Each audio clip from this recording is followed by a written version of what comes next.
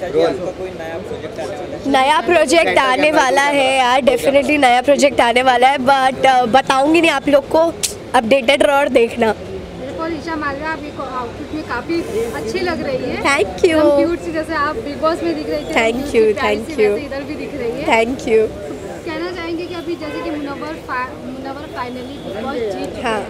आपका उस पर क्या रिएक्शन है और क्या आपको भी आपको भी मतलब आप भी पर्सनली चाह रहे थे कि मुनव्वर ही जीते? यार नहीं मैं नहीं चाह रही थी पर्सनली बट वो बहुत एक्सपेक्टेड था मुनवर का जीतना क्योंकि उनकी इतनी बड़ी फैंडम है यू नो इतने फ़ैन फॉलोअर्स हैं तो ठीक है वो जीते हैं बढ़िया है बट डिज़र्विंग मुझे नहीं लगते थे। मैं घर के अंदर भी अक्सर ये बोलती थी कि डिज़र्विंग मतलब जिनका बिग बॉस एक ऐसा प्लेटफॉर्म है जहाँ पे आपका इन्वॉल्वमेंट होना बहुत नेसेसरी है यू नो तो उस हिसाब से मुझे नहीं लगते थे। तो आपके हिसाब से कौन डिजर्व मेरे हिसाब से यार Ankita ji was the deserving one क्योंकि उनकी तो पूरी पर्सनल लाइफ ही खुल चुकी थी कि उनकी मैरिड लाइफ में भी इतनी प्रॉब्लम्स चल रही है प्लस वो गेम भी साथ में मैनेज करी तो उनकी जर्नी भी कोई आसान नहीं रही थी, बहुत टफ रही थी।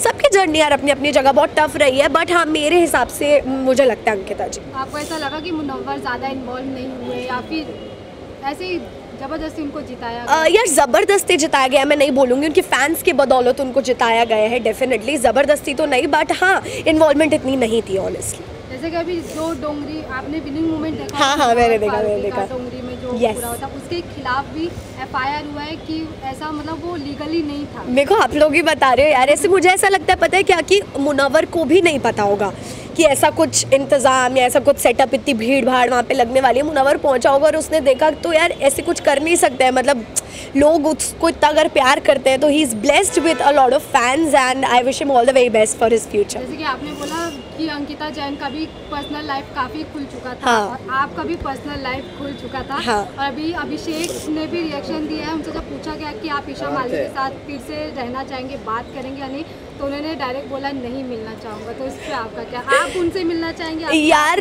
नहीं नहीं ऑब्वियसली मतलब इतना सब कुछ होने के बाद हम लोग क्यों ही एक दूसरे को फेस करना चाहेंगे? नहीं बट मेरी तरफ़ से ऐसा भी नहीं है कि वो अगर आज मेरे सामने से क्रॉस करे तो मैं मुँह मोड़ लूँगी या मुँह बना लूँगी। मैं कॉर्डियल बिहेवियर सबके साथ अंदर के हर एक कंटेस्टेंट के साथ रखना जैसे कि आपने एक इंटरव्यू में कहा था कि अगर कोई सामने से नहीं बात करता लेकिन ये उदास है तभी भी मैं उनके सामने कुछ हाँ। सामने जाके सॉरी बोलती हूँ आप ही बात करती हाँ। मेरा वो नेचर यार अभी भी मतलब मुझे पता है कि अंदर यू नो मनारा और मेरी बहुत अलग लेवल पे झगड़े हुए हुए हैं बहुत लड़ाई हुई है। पर अगर मनारा भी मुझे दिख जाएगी सामने से मैं चली जाऊँगी उसको हाय बोलने की हाय मनारा व्हाट्सअप हावी है मुझे लगता है कि आप ना बहुत लंबे टाइम तक ज़्यादा ग्रजेस पाल के नहीं रख सकते और वो अच्छा भी नहीं है आगे बढ़ जाना चाहिए ज़िंदगी में। तो अभी जब मनारा बाहर आई या फिर आप लोग का कुछ बातचीत नहीं कोई बातचीत नहीं हुई क्योंकि मैं भी अपने प्रोजेक्ट्स में लगी हुई हूँ। आई एम श्योर मनारा भी अभी अभी फिनाले करके बाहर आई है तो वो भी बिज़ी ही होगी।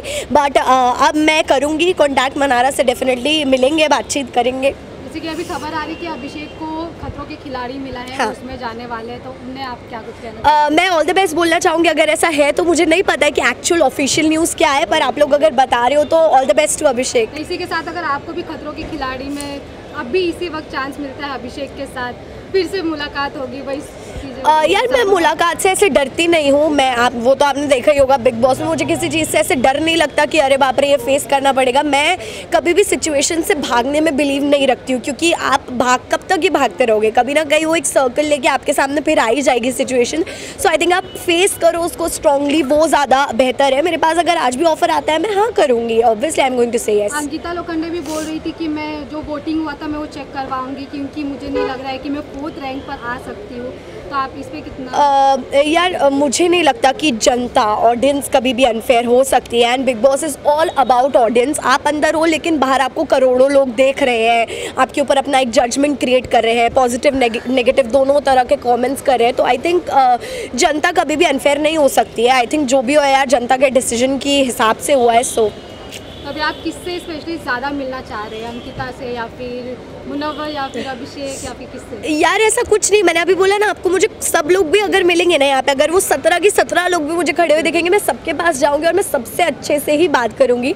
ऐसा मेरा नेचर है ही नहीं कि मैं मुँह बना के निकल जाऊँ या उनको देखूँ ना तो ऐसे मैं किसी को अवॉइड या इग्नोर नहीं करूँगी। बट हाँ अगर क्लोज रिश्तों की बात की जाए तो आई थिंक मैं विक्की भाई और अंकिता जी से ज़्यादा क्लोज फील करती हूँ अपने आप को आप मिले नहीं हैं? मैं मिल रही उनको मैं दो दिन पहले मिली उनको। और मैं पूछना चाहूँगी कि अब इसके बाद आपका कोई मन है किसी रियलिटी शो में जाने के लिए? आ, यार मन तो हाँ ऑफ़ कोर्स मन तो मेरा ऐसे सारे प्रोजेक्ट्स करने का जितने भी आ रहे हैं मेरा मन होता है मैं सब कर लूँ।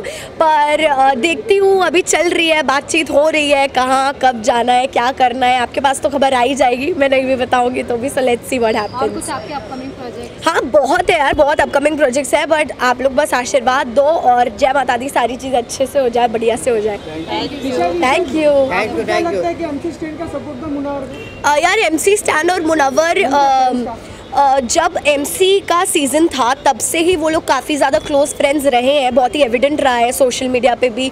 जब स्टैन अंदर था तब मुनावर ने उनको काफ़ी सपोर्ट किया है। And same goes for Munawar कि जब मुनावर अंदर था तो स्टैन ने भी काफ़ी हद तक सपोर्ट किया उनको।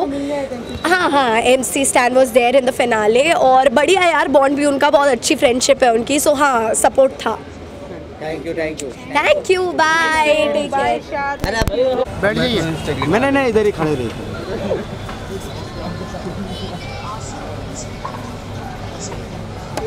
क्या बात है क्या लग रहे हो आप? थैंक यू बस करा जाए छोटी तारीफ़ तो नहीं कर रहे? हैं नहीं नहीं सब सही? बहुत मज़ा आ रहा है थैंक यू ऐसे बॉलीवुड है। कितना स्माइल कर रहे थे। Thank you thank thank you thank thank you you thank you चलो ऐसे ही स्माइल करते रहो आप लोग। बाय बाय चला ही गया वो। शर्मा के? बाय। Bye bye. चलो चलो बाय बाय। बाय।